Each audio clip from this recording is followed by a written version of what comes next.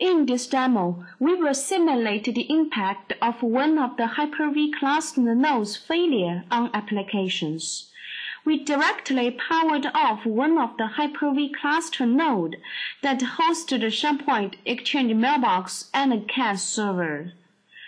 The whole infrastructure will be monitored by Microsoft System Center suites with the EMC System Center Management Pack.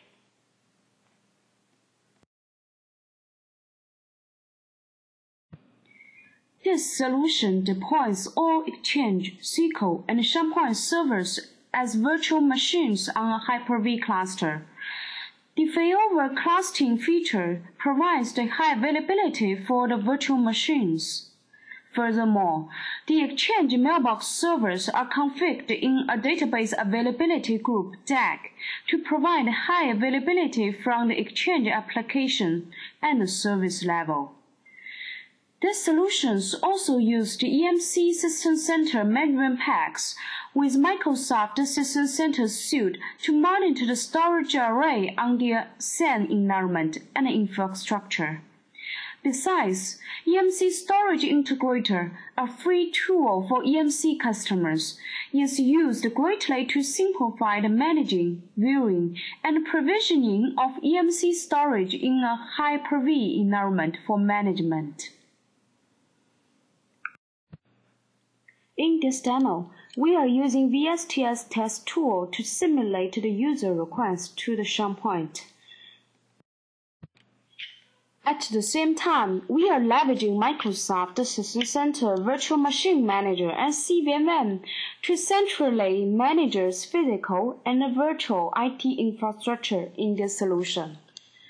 For example, monitoring server utilization and dynamically improve the resources optimization across the virtualized platform.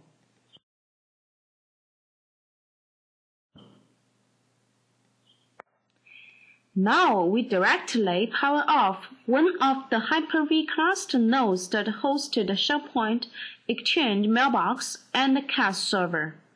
If a Hyper-V node experiences hardware failure, the virtual machine originally hosted on this node will be also dropped, and Hyper-V failover cluster will move them quickly to another node and be powered on automatically.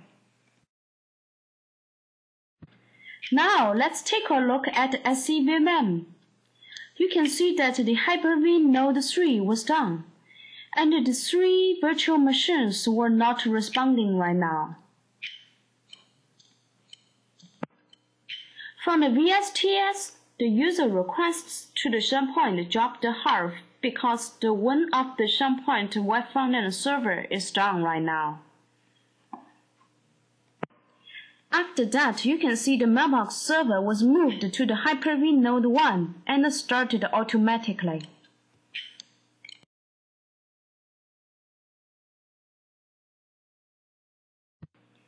After a while, the Exchange CAS server will also moved to Hyper-V Node 1 and started again.